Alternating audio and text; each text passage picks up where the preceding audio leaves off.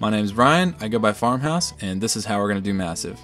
For the most part, every time I go onto YouTube to check out Massive tutorials and see new people's sounds, I've seen the same thing every time, and that is somebody talks for a little while, they'll eventually play a sound, you're not really sure when, and you're pretty much just going to be following them along as they tell you what direction to point which knob.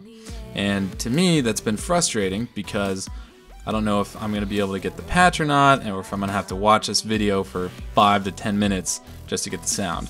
What I want to do with this channel is give you guys a concise way and a set of expectations that every time you see the video, it's to be the same exact thing, and hopefully, it's not to suck.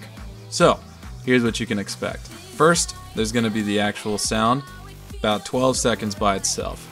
Then I'm going to show you the screenshots of all the valuable information that you need. So all the envelopes, all the oscillators, everything in a screenshot. So if you want to copy it, all you have to do is pause it at each one of those screens and you'll be good to go. You have all the information you need.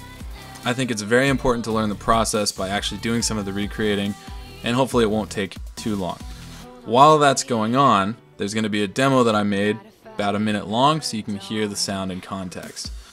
After all that's done, the rest of the video is going to be three sound design concepts that I applied during that patch that hopefully you can take away rather than just recreating what I'm doing on the screen. I focus heavily on macros as a different way to give you alternate versions of the sound, so that's a lot of what I focus on during that section. You'll always be able to download the sound in the description, so if you do want to just go in and out, download the sound, bail, you have that choice. But hopefully I'm going to make the second half of the video interesting enough that it'll be worth checking out. If there's ever any questions or requests, let me know and I'll knock them out. So, here we go.